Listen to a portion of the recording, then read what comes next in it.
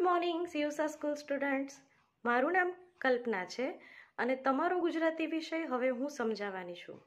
આજના ગુજરાતી વિષયમાં આપણે પૂરક વાંચન એક, મીરાબાઈનું ગોવિંદના ગુણ ગાશું, એના વિશે સમજશું. શરૂઆતમાં મીરાબાઈ વિશે થોડી જાણકારી લેશું અને ત્યાર પછી મેં કેટલાક પિક્ચર મૂકેલા છે, જે મીરાબાઈની જન્મભૂમિ, મીરાબાઈના મંદિર વગેરેના છે. અને એની સાથે આપણે આ કવિતાનું સુંદર મજાનું ગાન કરીશું. તો ચાલો શરૂ કરીએ. આજની આ કવિતામાં આપણે મીરાબાઈ વિશે થોડું જાણીએ. મીરાબાઈને કોણ નથી જાણતું? મીરાબાઈનો જન્મ રાજસ્થાનમાં આવેલા મેડતા ગામમાં ચૌદસો ને અઠ્ઠાણુંમાં અને મૃત્યુ પંદરસો ને છેતાલીસમાં થયું હતું. મીરાબાઈ એક કૃષ્ણ ભક્ત હતા. તેમના લગ્ન ભોજરાજ સાથે થયા હતા, પરંતુ મીરાબાઈએ શ્રી કૃષ્ણને પોતાના પતિ તરીકે સ્થાપ્યા હતા અને તેમને અનુલક્ષીને તેમણે અનેક ભજનો સાખ્ય ભાવમાં રચ્યા હતા.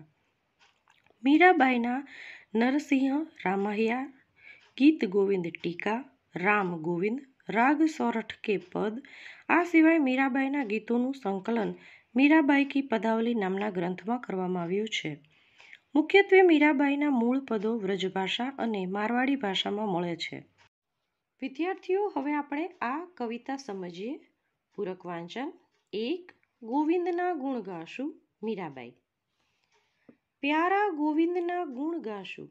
ગોવિંદ એટલે ભગવાન શ્રી કૃષ્ણ અને ગુણ ગાશું એટલે કે ભગવાનનું ભજન કરશું. રાણાજી, અમે પ્યારા ગોવિંદના ગુણ ગાશું.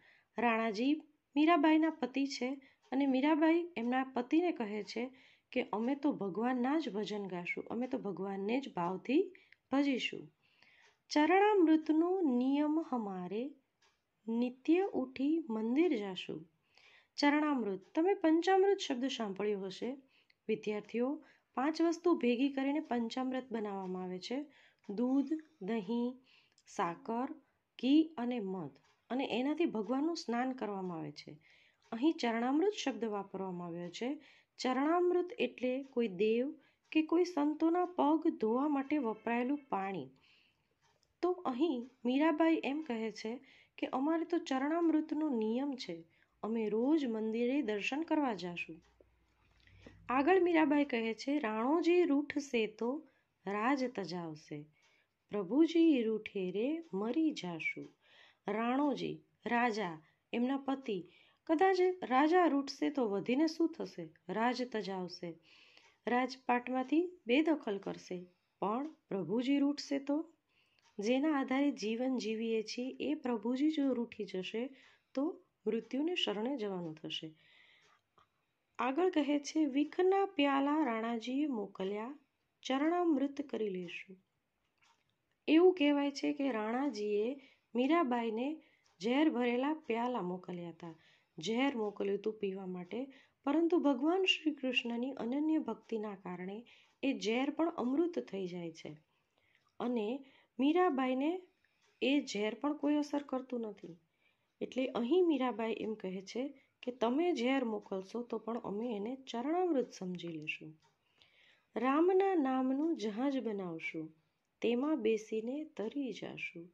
જીવનમાં આવતી અનેક મુશ્કેલીઓ, અનેક તકલીફોનો અમે ભગવાનનું નામ લેતા લેતા સહન કરી જશું, પાર કરી જશું. આ જીવન જીવી લેશું. બાઈ મીરા કે પ્રભુ ગિરધર ના ગુણ ચરણ કમળ પર વારી જાશું. જેમના ચરણ કમળ જેવા છે, એવા ભગવાન ઉપર એમના ગુણગાન ગાતા ગાતા વારી જવાનું, સમર્પિત થઈ જવાનું મીરાબાઈ અહીં સમજાવે છે. આ કાવ્ય મીરાબાઈની શ્રી કૃષ્ણ પ્રત્યેની અનન્ય ભક્તિનું એક ઉદાહરણ છે. હવે આપણે આ કાવ્યનું ગાન કરીએ. પ્યારા ગોવિંદના ગુણ ગાશું, પ્યારા ગોવિંદના ગુણ ગાશું, રાણાજી અમે. પ્યારા ગોવિંદના ગુણ ગાશું ચરણામૃતનો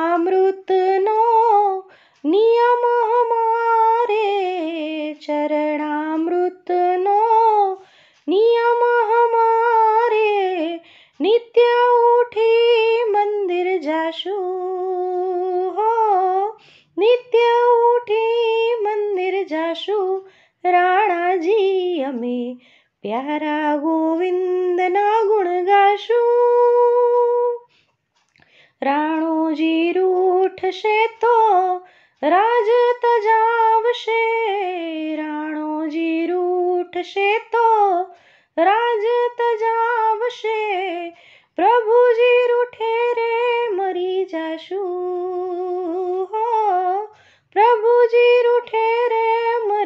જાશું.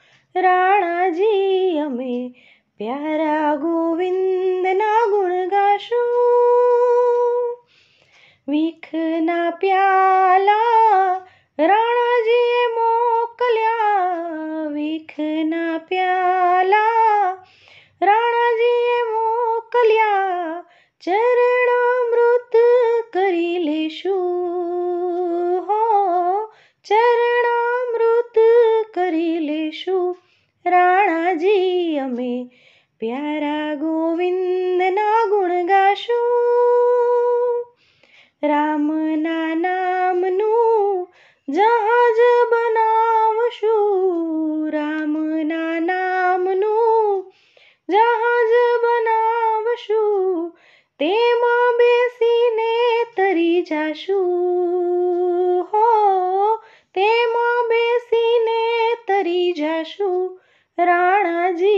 રાણાજી અમે પ્યારા ગોવિંદના ગુણ ગાશું